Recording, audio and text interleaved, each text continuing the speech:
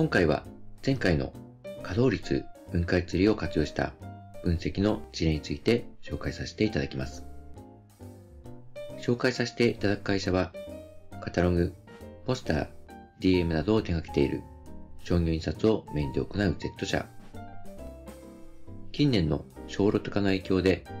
ジョブの切り替え作業が増えており、現場、工場長の思いとして、さらに機械の稼働を上げていく取り組みの必要性を感じています。しかし、何を行えば最も効果が出るのか、その改善への実行プラン作成に悩んでいるようです。また、Z 社の課題として長年にわたり貢献されてきたベテランオペレーターが退職され、新しく印刷未経験の若いオペレーター A さんが入社されました。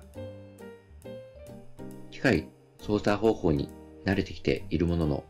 その印刷のやり方が正しいやり方なのか不安なようです。では、実際に稼働率分解ツリーを作成して改善可能な項目はあるのか、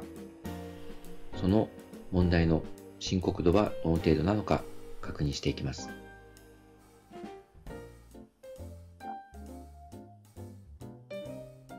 Z 社では同じ機種の1号機青線、2号機赤線が隣同士に配置されています。2号機では小ロットジョブ対応、特色印刷も多く、1号機と比較して稼働率は低い状態となっています。森林オペレーターの A さんは1号機に配置され、2月、3月の繁忙期では印刷枚数、ジョブ数も増加。同時に時間外作業が増えてしまい、なんとか日々のお仕事をこなしている状況です。ジョブ外時間を見てみると、1号機では繁忙期で機械停止時間が増加。作業工程の中でのボトルネックとなっており、稼働時間の増加要因となっています。次に、オペレーター引き継ぎ後の機械速度が低下してしまっています。なぜ速度を低下させてしまったのか、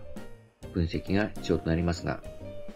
ここはオペレーターの A さんに速度上昇時での障害、不安要素を聞いてみて、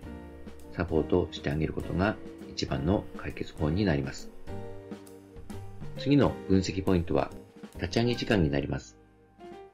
はじめに、切り替え時間を見ていますと、機械の自動化が進み、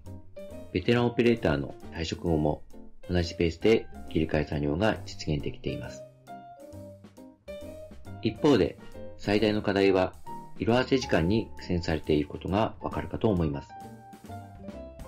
プレンキング機能は引き継ぎ後も実施されていますが、試すより回数と枚数が増加しているのがわかります。経験の少ない A さんは、ベテランのオペレーターのように色合わせがうまくいかず、時間がかかっていると推測されます。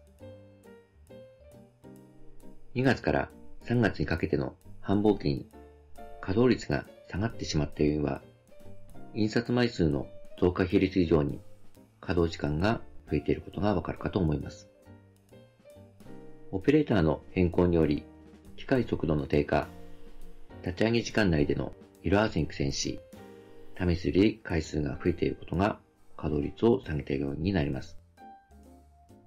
また、工程管理での半待ち、確認待ちなどがボトルネックとなっており、改善が可能かどうかの検討が必要となります。